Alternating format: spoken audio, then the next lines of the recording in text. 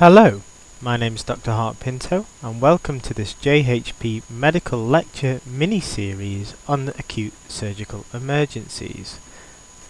This is lecture 2 on perforated viscus.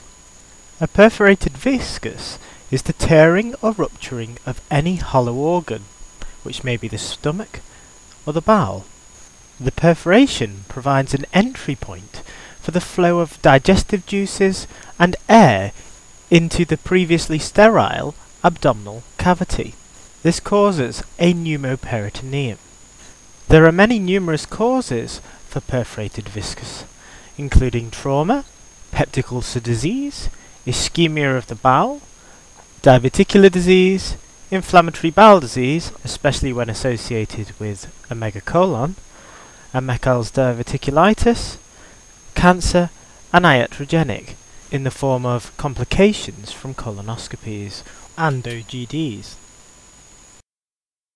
Patients typically complain of severe abdominal pain, which is worse on movement. You often find that the patient is lying flat on the bed and is refusing to move. The pain may initially have been localized and then has become more general as the peritonitis has developed. Patients may also complain of shoulder tip pain due to the irritation of the phrenic nerve supplying the diaphragm. On examination, we find that these patients are clinically peritonitic. They have a rigid abdomen with guarding and tenderness. They may also have a fever, tachycardia, and hypotension, which is an autonomic reaction as the peritoneal cavity continues to fill with air and digestive fluids, you get a loss of the liver dullness on percussion of the abdomen. Early resuscitation is imperative in the management of these patients. We want to establish early IV access and we can give a stat of IV crystalloid either 0.9% saline or Hartmann solution if the patient is hypotensive or tachycardic.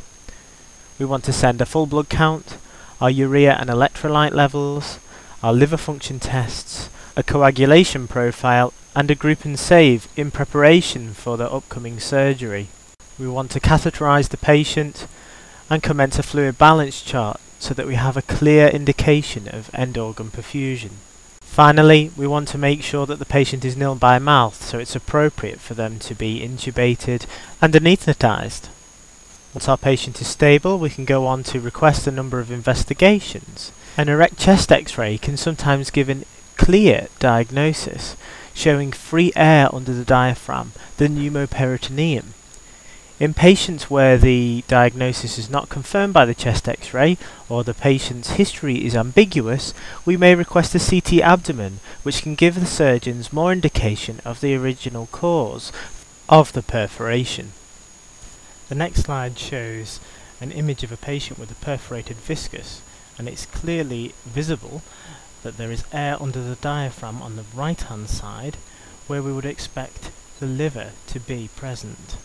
This is a diagnostic finding in perforated viscus. Okay, so we've confirmed our diagnosis. What is the definitive management?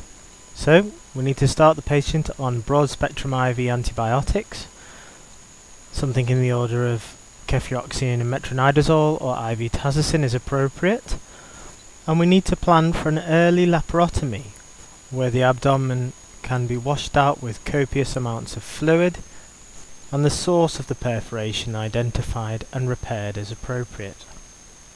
In some scenarios it may not be practical to take the patient to theatre and a conservative or palliative management may be required. In this event, we try to keep the patient as calm and comfortable as possible. As always, please leave your comments and suggestions below. If you like the video, please like it, as it gives us the support to continue producing new medical lectures to aid in upcoming exams.